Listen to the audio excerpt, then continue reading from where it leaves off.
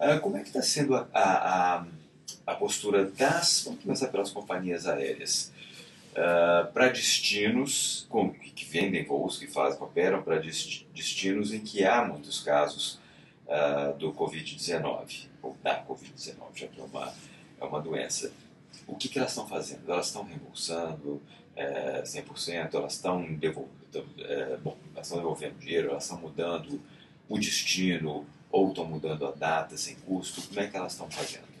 Olha, cada companhia já está se organizando, a gente já recebeu várias orientações das companhias, que é o nosso papel, né? O agente de viagens está em contato direto com essas empresas.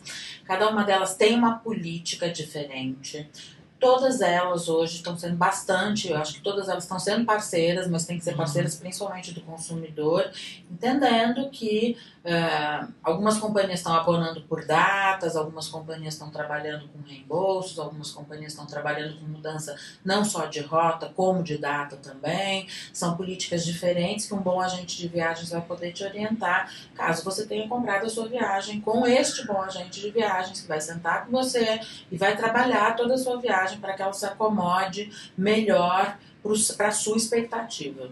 No, nos casos dos hotéis, como é que eles estão agindo?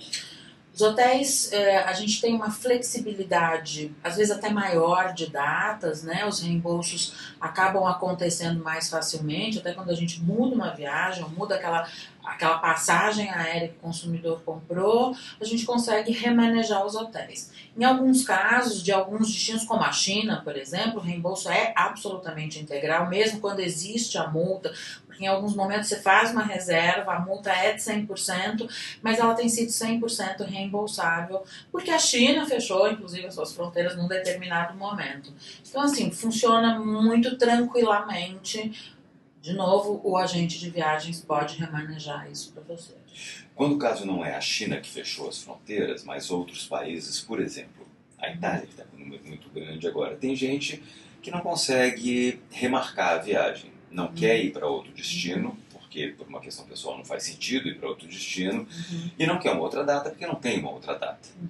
Quando poderia via viajar seria aquela data, o evento que ela uhum. iria atender seria aquele, naquela data. Nesse caso, quando a pessoa precisa de um reembolso total, ela não vou mais viajar, não quero mais viajar.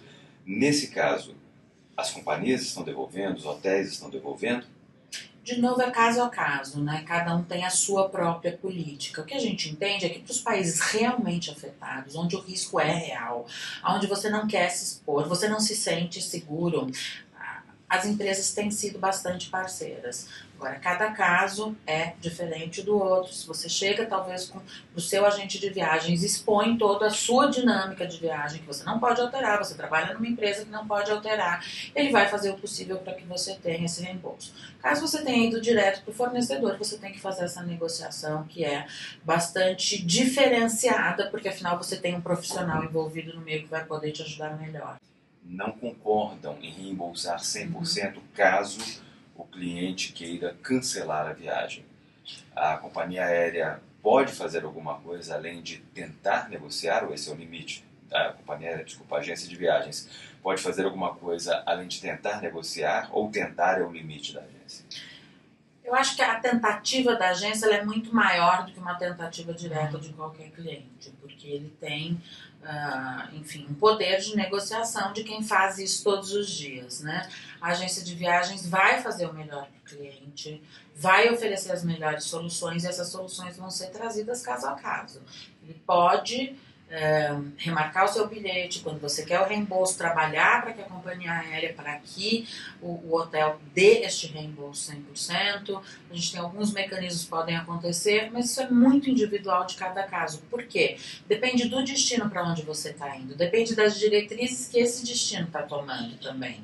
Né? Quando você fala, por exemplo, destino, eu já te diria 100% sim, eles vão te reembolsar, porque isso foi um procedimento que a gente adotou um tempo atrás. No caso de outras notícias, notícias que a gente tem recebido Itália, são muito recentes. Isso aconteceu há três, quatro dias, né? A gente começou a ouvir esse número de casos alarmante. A gente espera que se tome as mesmas medidas que a China, caso eles entendam que essa é a realidade. Mas na prática, e até legalmente, se a companhia aérea diz, não, no meu contrato tem multa, a agência consegue tirar essa multa? Com certeza? Não. Com certeza não, porque a agência não é dona da companhia aérea, né? É, a gente adoraria tirar todas as multas, eu entendo, porque a gente quer muito sempre trabalhar com o cliente da melhor forma possível. Mas eu sou dona da minha empresa, não da companhia aérea.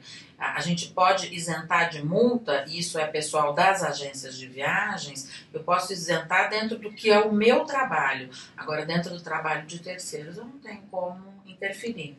Mas de Tenho qual- como negociar. Mas de qualquer, era a minha pergunta, mas de qualquer forma a negociação é muito mais efetiva pela agência. Muito mais efetiva. Eu acho que não só a negociação é mais efetiva, mas o olhar profissional, né? Ele faz toda a diferença, tanto na hora da negociação, porque você pode chegar, a gente tem elementos, né? A gente trabalha nisso é, diariamente, a gente acompanha as mudanças, inclusive dos contratos das companhias aéreas. Então a gente tem elementos, inclusive profissionais, para dizer, olha, isso não, isso daqui a gente tem que refazer, a gente tem que remarcar. Então, isso daqui é obrigatório você fazer, ou isso não é. A gente tem subsídio para fazer com que a negociação ela seja muito mais benéfica para o cliente do que um cliente que vai fazer isso direto. Isso é, é o grande diferencial de um bom agente de viagens que passa por essas crises, infelizmente, várias vezes, né? A gente já passou, só de gripes, a gente já passou por três, quatro, cinco, que, que, que já, a gente já viveu isso. Né? Eu já vivi isso algumas vezes e, e todas elas foram superadas de forma. tiraram de letra. O agente de viagens tira isso de letra.